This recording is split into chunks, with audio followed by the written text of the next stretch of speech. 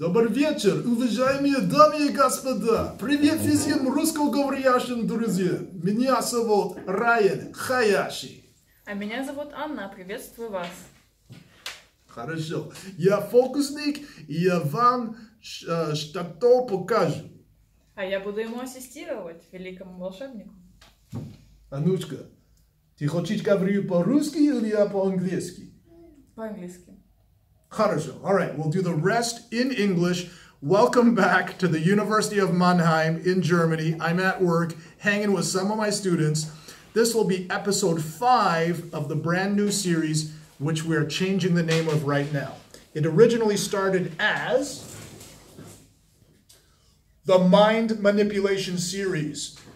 And then I wanted something that just sounded a little bit better because it became a series. Then I changed it to fun psychology tricks. And then I realized these are not psychology tricks, these are magic tricks. So I wanted something cool. We did a team vote with it with my class, and we decided on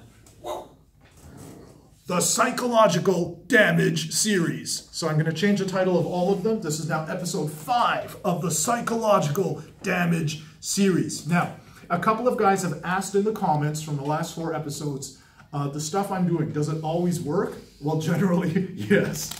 Uh, we just film it all in one shot. If it works, that's what it looks like. And some guys have been asking, um, what part is a magic trick and what is, is psychology? If you have to ask, I'm doing something right. So here is the following trick. Um, one classic idea in magic to demonstrate the ability to manipulate cards is a blind location of, let's say, for example, the four aces. So that would be ace number one.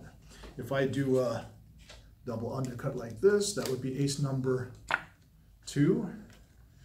This would be, I'll do a table cut, ace number three. And then the last one, let's try to, oh, people are coming closer, which is absolutely fine. Watch this one, here's a cool cut. From the center, that would be ace number, did I get it? Yeah. Four. Now, that's, that's not bad. What would be cooler is if I could have somebody choose four other cards, not the aces. So if I did the aces, I'm going to let Anna choose four other cards. Which cards would you like? Mm, maybe four kings. The four kings. Okay, this is a free choice. Yes? Yes. She really could choose any. She chose the four kings. Anna, would you please mix the cards like this? Try to keep them on the table, off the floor, which would be good. Okay. Oh, it looks good. All right.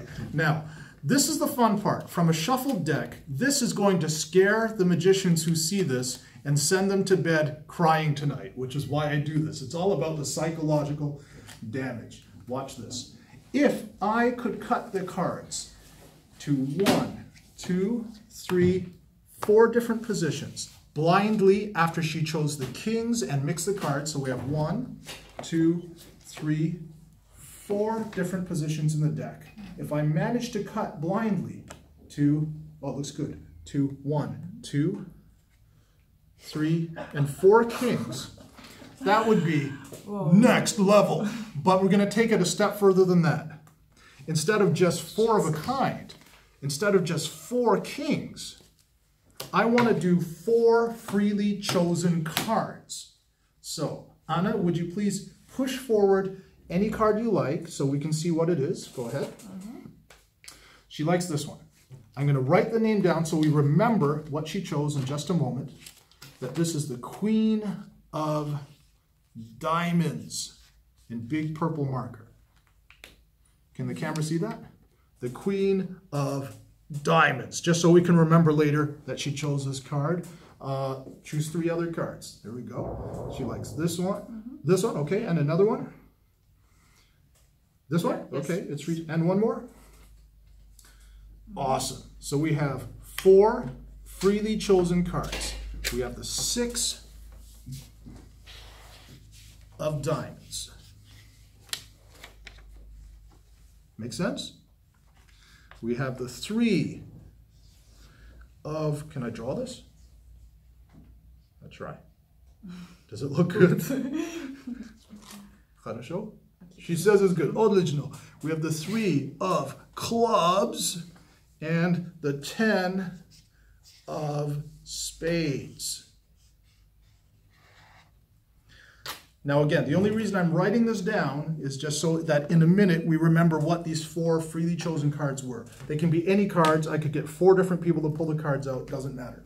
Now, the fun part is to lose those cards in four different positions in the deck. So what I'm going to do is I'm going to shove them in, and here's the fun part. I'm going to let her shuffle the cards in just a minute so you can see that these cards are completely lost and there's no way that I could visually track these cards. And guys are actually coming close to the table now because they all they're watching but the, don't swivel the camera, but take my word for it. These guys are watching my hands very, very closely because they just want to actually see where am I putting those cards. We're going to mix them. I'll mix one more time just to make it look legit. I will let her mix one more time. Could you mix the cards, please? Yes. Awesome. Okay. This is good. Okay. now, you could show his face. Look, he's laughing and I don't know why. Why are you laughing, bro? I haven't even done the trick yet. I'm about to start. Okay. Yeah, no. All right. Now, I seriously hope this works No, because no pressure. yeah, no pressure. I, I'm just doing this blind, and you, you, you, you have never seen a magician live before. No, Uh, I, I did something like this, first time. Do me a favor. I'll get get these in front of you. Mm-hmm. Would you please uh, cut the cards in half so we have two groups? Mm-hmm. Okay. Uh, do the same here. Mhm. Bring some cards over. I'll keep my hands in so that they can see I'm not Yes. hiding more cards. It's okay. Just don't and make it big enough so we have cards. Okay, awesome. Awesome. Did the camera see that? She did all of the, the, the, the cutting. My hands are off the table. Do you have super Jedi psychic powers? We will find out. That's the test because she did everything herself. My hands were off off the cards, and she did everything absolutely by herself. But if we look at the four cards she cut to, What? No way. That would be the. Can the camera see that? That would be the six of diamonds, the three of clubs, the ten of spades, and the queen of diamonds. That is the perfect blind cut. She did everything, her hands on the cards, after she makes the cards, and she chose the four cards anyway. So, any questions? Psychological. Look at the psychological damage there.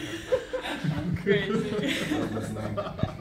I like the new name of the series. Ladies and gentlemen, this was episode five of the Psychological Damage series.